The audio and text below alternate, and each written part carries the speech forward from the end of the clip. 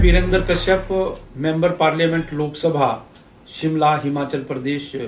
से संबंधित हूँ। और आज मुझे इस चैनल पर, आपके चैनल पर कुछ, जो पिछले साढ़े चार वर्षों में मोदी जी की केंद्रीय सरकार के माध्यम से इस देश के विकास के लिए और खास करके हिमाचल प्रदेश में जो विकास के कार्य हुए हैं, वो आप तक के द्वारा जनता तक पहुँचाने का एक अच्छा सुअवसर मिला। इसके लिए मैं आपका आभार व्यक्त करता हूँ, धन्यवाद करता हूँ। पिछले साढ़े चार वर्षों में अगर हम राष्ट्रीय स्तर पर मोदी जी की योजनाओं को लेकर देखें तो उनका जो केंद्र बिंदु रहा है, वो गरीब रहा है, दलित रहा है, पिछड़ा वर्ग रहा है, गाँव रहा है, किसान रहा है। और उन्हीं के लिए उन्होंने जितनी भी योजनाएँ बनाई हैं, उन्हीं को केंद्र बिंदु मानकर जो है, वो योजनाओं का शुरुआत की गई है, और उसका आज रिज़ल्ट जो है वो हमारे पास धीरे धीरे सामने आ रहे हैं। चाहे वो प्रधानमंत्री जन धन योजना हो, चाहे वो प्रधानमंत्री कृषि सिंचाई योजना हो, चाहे वो प्रधानमंत्री फ़सल बीमा योजना हो, या सामाजिक सुरक्षा के लिए हमारी जितनी भी बीमा योजनाएँ हैं, प्रधानमंत्री सुरक्षा बीमा योजना, यानी एक रुपया एक महीने में हम जो है अपना देकर जो है बारह रुपए साल का प्रीमियम, उसमें दो लाख रुपए तक का जो है वो हम एक्सीडेंटल जो है वो दुर्घटना का जो है वो बीमा हमको प्राप्त हो सकता है। इसी तरह से तीन सौ तीस रुपया यानी लगभग नब्बे पैसे प्रतिदिन के हिसाब से अगर हम अपना प्रीमियम जमा कराते हैं तो उसमें प्रधानमंत्री जो है वो बीमा योजना के माध्यम से हम जो है अपना दो लाख का जो है वो बीमा करवा सकते हैं। इसी तरह से अटल जी के नाम पर जो है वो पेंशन का जो है वो शुरुआत की गई है। 18 से 40 वर्ष के बीच अगर हम पैसे जमा करवाते हैं तो एक हज़ार से लेकर यानी पाँच हज़ार तक जो है वो उसका साठ वर्ष की आयु के बाद हम अपनी पेंशन प्राप्त कर सकते हैं। इस प्रकार की बहुत सी योजनाएँ अगर हम आज देखें तो वो किसानों के हित में हमने कहा है कि किसान की आमदनी 2022 में आ, हर किसान की आमदनी डबल हो जाए, दुगनी हो जाए तो उसके लिए विभिन्न योजनाओं का प्रावधान किया गया। जैसे मैंने कहा कि किसान के लिए जो है वो प्रधानमंत्री कृषि सिंचाई योजना, ताकि हर खेत को पानी हम उपलब्ध करा सके। इसी तरह से प्रधानमंत्री फ़सल बीमा योजना, यानी किसान की अगर जो है फ़सल बर्बाद हो जाए, सूखे की वजह से बर्बाद हो जाए, ओलावृष्टि की वजह से बर्बाद हो जाए, या अन्य किसी कारण से जो है वो परेशानी में आ जाता है तो उसका भी हमने बीमा जो है वो अपने किसानों का करवा रखा है। इसी तरह से किसानों को बैंकों में जो है वो ऋण उपलब्ध हो, उसके लिए भी अलग से प्रावधान हर बैंकों में इतनी धनराशि जमा की गई है, ताकि कोई भी किसान किसी बैंक से निराश ना जाए। इसके लिए भी हमने जो है वो प्रावधान किया है। यही नहीं, साथ ही किसानों की लिए जो है वो हर जो हमारी एपीएमसीज हैं रेगुलेटेड मार्केट्स हैं, जो मंडियाँ हैं। इस देश की पाँच सौ पचासी एपीएमसीज को हमने इंटरनेट के साथ जोड़ा है और इंटरनेट के साथ इसलिए जोड़ा है ताकि किसान जो है सुबह उठकर ये देख सके कि किस मार्केट में मेरे प्रोड्यूस का, जो वो पैदा कर रहा है, उसका मार्केट वैल्यू कहाँ सबसे ज़्यादा है। तो इस प्रकार से ये इस प्रकार की बहुत सी योजनाएँ हमने लाई हैं। महिलाओं के लिए आज अगर हम देखते हैं कि जो महिलाएँ बेचारी धुएँ में परेशान होती थी, गरीब थी, एक एलपीजी का सिलेंडर कनेक्शन नहीं खरीद सकती थी, उनके लिए भी आज हमने आठ करोड़ बीपीएल परिवार की महिलाओं को आज हमने जो है, वो एलपीजी का कनेक्शन जो है, वो फ्री देने की व्यवस्था की है। लगभग छह करोड़ महिलाओं को अभी तक जो है, वो ये सुविधाएँ हम दे चुके हैं। इसी के साथ साथ एक जो सबसे बड़ी योजना जो मैं कह सकता हूँ मोदी सरकार के द्वारा, हमारे स्वास्थ्य के जो मंत्री हैं, श्री जगत प्रकाश नड्डा जी, हमारे हिमाचल प्रदेश से हैं, उन्होंने एक बड़ा रेवोल्यूशनरी जो है वो एक स्कीम लाई है माननीय नरेंद्र मोदी जी के आशीर्वाद से, वो है यानी आयुष्मान भारत, यानी इस देश के 10 करोड़ परिवारों को, यानी लगभग एवरेज 50 करोड़ लोगों को हम पाँच लाख का जो है वो हेल्थ इंश्योरेंस दे रहे हैं, ताकि कोई किसी भी बीमारी में गरीब आदमी जो है वो इलाज ना करा सके तो पाँच लाख तक का जो है वो इंश्योरेंस हेल्थ इंश्योरेंस जो है वो मोदी सरकार कर रही है। इसी के साथ साथ मैं कहना चाहता हूँ कि हिमाचल प्रदेश को भी जो है वो मोदी सरकार ने बहुत कुछ इन साढ़े चार वर्षों में दिया है। उन्होंने सबसे बड़ी बात ये की कि जो हमारा नब्बे दस की रेशो का जो प्रदेश के लिए जो केंद्र की योजनाओं में जो शेयर जाता था, वो यूपीए की सरकार ने बंद कर दिया था, कांग्रेस सरकार ने बंद कर दिया था हिमाचल के लिए। उसको हमने, मोदी सरकार ने दोबारा से किया है कि सभी केंद्र की जितनी भी योजनाएँ सेंट्रल स्पॉन्सर्ड स्कीम होंगी, उसमें 90 प्रतिशत केंद्र वहन करेगा और 10 प्रतिशत जो है, वो स्टेट वहन करेगा। ये हमको एक सबसे बड़ा जो है लाभ मिला है। इसी के साथ साथ बहुत से अन्य भी है पर इसी के साथ में एक जोड़ना चाहता हूँ, क्योंकि मैं शिमला पार्लियामेंट्री कॉन्स्टिट्यूंसी से आता हूँ। शिमला पार्लियामेंट्री कॉन्स्टिट्यूंसी जो है, काफ़ी फार प्लंस्ड एरिया है, दूरगामी क्षेत्र है, जहाँ पर बर्फ़ भी बहुत पड़ती है, और तीन जिलों में बटा हुआ है। सतारा विधानसभा क्षेत्र है, और भले ही शिमला के नाम से है, जो अंग्रेज़ों के समय में जो है वो ग्रीष्मकालीन जो है अंग्रेज़ों के टाइम में जो है वो राजधानी होती थी, परंतु शिमला को छोड़कर जो है या अन्य जिला हेडक्वार्टर्स को छोड़कर ये अभी भी विकसित इतनी ज़्यादा नहीं हुई है। इसमें मैं कह सकता हूँ कि केंद्र की सरकार के माध्यम से मोदी जी ने जहाँ हिमाचल प्रदेश को बहुत सी योजनाएँ दी है, मेरे शिमला पार्लियामेंट्री के लिए जो है, एक आईआईएम दिया है। ये कोई छोटी बात नहीं, एक संस्थान, यानी इंडियन इंस्टीट्यूट ऑफ़ मैनेजमेंट हर एक जगह नहीं मिल सकता है। अभी तक जो है हिमाचल प्रदेश में हमको ये दिया गया। इसके साथ साथ ये सिरमौर में जो है इसका पिछले दो सालों में जो है वो एडमिशन हो गई हैं। बच्चे वहाँ पर शिक्षा प्राप्त कर रहे हैं। साथ ही हमारे हिमाचल प्रदेश में चार मेडिकल कॉलेज दिए गए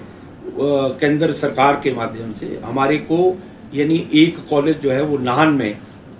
जो है वो मिला है, मेरे शिमला पार्लियामेंट्री कॉन्स्टिट्युएंसी में। और एक सबसे बड़ी बात जो मैं समझता हूँ कि हिमाचल प्रदेश में अगर हम अपने आप को पैरों पर खड़ा होना चाहते हैं, अपनी आर्थिकी को मज़बूत करना चाहते हैं तो उसमें पर्यटन के लिए जो है वो हम ज़्यादा से ज़्यादा हमको लाभ मिलना चाहिए, योजनाएँ ज़्यादा से ज़्यादा बननी चाहिए। उसमें मैं अपने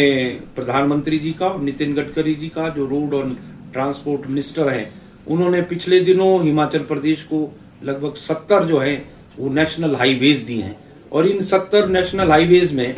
सताइस जो है वो मेरे शिमला पार्लियामेंट्री कॉन्स्टिट्यूंसी में इसके माध्यम से हम जो है आज इस पर जो है काम शुरू हुआ है डीपीआर बन रही है और जैसे ही डीपीआर तैयार होगी, सड़कें बननी शुरू होंगी और जब सड़कें बेहतर होंगी तो हम कह सकते हैं कि रोडवेज़ के माध्यम से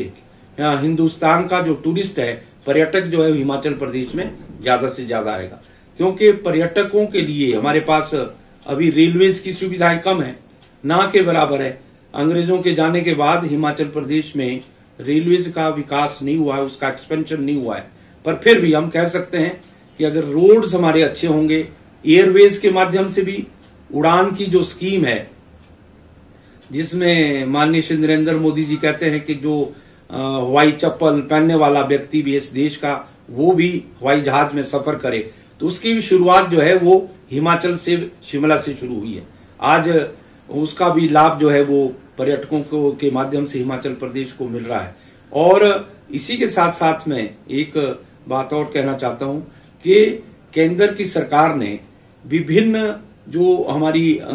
टूरिज़्म के साथ जुड़ा हुआ मामला है, उसमें बहुत अच्छा काम किया है। अभी श्री जयराम ठाकुर जी जो हमारे मुख्यमंत्री बने हैं, जिनको अभी बने हुए, अभी पिछले दिनों 27 दिसंबर को एक वर्ष पूरा हुआ है, माननीय प्रधानमंत्री जी उनको आशीर्वाद देने धर्मशाला आए थे, मैं कह सकता हूँ, इन एक वर्षों में,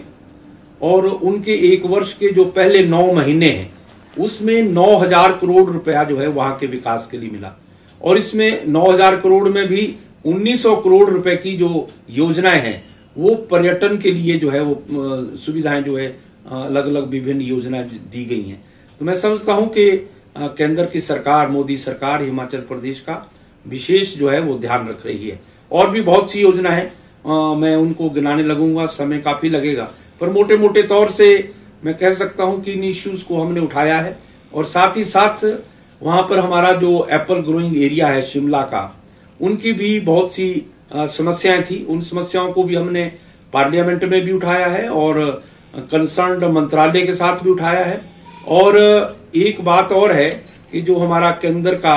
जो भी विभिन्न मंत्रालय हैं। उन मंत्रालयों के माध्यम से हम ये कह सकते हैं कि सेब उत्पादकों के लिए जो यहाँ पर इंपोर्ट ड्यूटी ज़्यादा लगती थी वो जो है हमने उसमें काफ़ी जो है वो उसको बढ़ाने के लिए जो है प्रयास किए कि 50 प्रतिशत जो है अभी तक है कि बाहर का सेब हमारे हिंदुस्तान में ना आए, भारत में नहीं आए, हमारे देश में नहीं आए। और बाहरले मुल्क से जब सेब आ रहा था तो हिमाचल प्रदेश के सेब को उसका सीधा सीधा जो है इफ़ेक्ट पड़ता है। तो उसमें भी हमने कहा कि 50 प्रतिशत का जो इस पर ड्यूटी है, उसको और बढ़ाया जाए, ताकि बाहर का जो सेब आए, उसकी कॉस्ट ज़्यादा हो। तो ये भी हमने रखा है। मेरे हिमाचल प्रदेश में, और खास करके शिमला पार्लियामेंट्री कॉन्स्टिट्यूंसी में, सिरमौर का जो एक क्षेत्र है, सिरमौर जिला, उनकी एक मांग बहुत लंबे से चल जा रही है। वो हाटी समुदाय की